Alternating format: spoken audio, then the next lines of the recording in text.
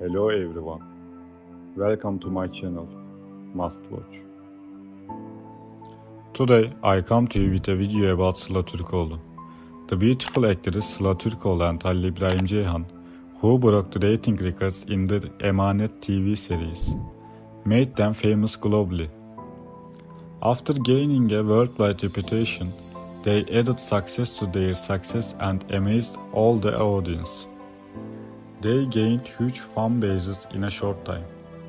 The love life of the beautiful actress, who had a relationship and worked with Ali Ibrahim Ceyhan, is closely followed by the fans. It has begun to be thought that this shaky relationship, which has never been clarified, does not have a very long life. She is in Kızılcık Şerbeti TV series with new role partner Doğukan Güngör.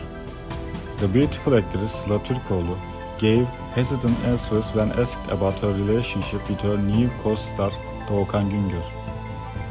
Every decision made by Sıla Türkoğlu, who goes back and forth between Doğukan Güngör and Halil İbrahim Ceyhan, surprised her fans. However, it started to become clear later how complicated it was. All the details are in this video. If you like my video, you can support me by subscribing to my channel and liking my video. Thank you and enjoy. Their relationship with Halil İbrahim Ceyhan was loved and supported and attracted great attention. However, it's claimed that Sıla Türkoğlu, who left the series Emanet with a fight, created a problem because Halil İbrahim Ceyhan's age was old and wanted to continue with Doğukan Güngör, his new co-star in the Kızılcık Şerbeti series. And it's claimed that the beautiful actress Sıla Türkoğlu likes Doğukan Güngör and wants to continue on her way with him. Thank you so much for watching my video.